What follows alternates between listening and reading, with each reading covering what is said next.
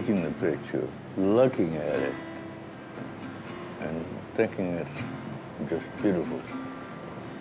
Beautiful dreams, beautiful pictures. Sometimes I remember for a few minutes some of the, let's say, highlights.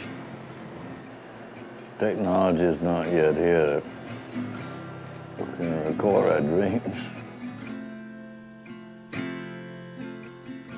I just have to accept him like he is. And he is a treasure, don't you, Ruth? Biggest fool we ever met, the most precious thing, too. I don't know how you stand yourself all the time.